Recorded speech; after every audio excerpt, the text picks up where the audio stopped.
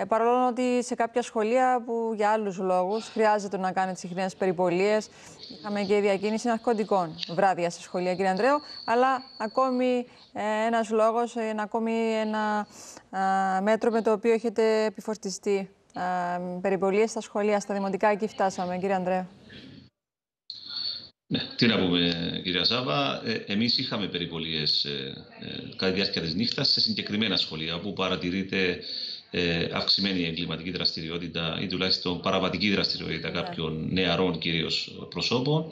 Αλλά αντιλαμβάνεστε, μιλούμε για 600 τόσα σχολεία δημοτικής και ε, εκπαίδευσης, οπότε ε, είναι αδύνατο να βρισκόμαστε κάτι, ναι, αλλά επισυνόλου τα σχολεία, ναι ε, αναλόγως βαθμίδας. Τώρα, κύριε Ανδρέου, που σας θέλουμε να, πούμε, να μας πείτε αν έχετε κάπου οδηγηθεί ή εντοπίσει τους δράστες ε, και του εκρηκτικού μηχανισμού του εμπρισμού, αλλά και της κακόβουλης πυρκαγιάς.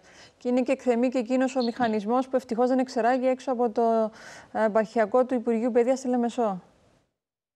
Ναι, ακριβώς. Ε, δυστυχώς δεν είχαμε καμία εξέλιξη. Αυτή τη στιγμή, όσον αφορά την υπόθεση της Λεμεσού, ε, βρίσκονται ανακριτές, ε, από ό,τι με ενημερώνουν, σε όλη την περιοχή σε μια προσπάθεια αναζήτησης μαρτυρίας αναφορικά με διακινήσεις ύποπτων προσώπων την, ε, το βράδυ που έγινε το σχετικό περιστατικό.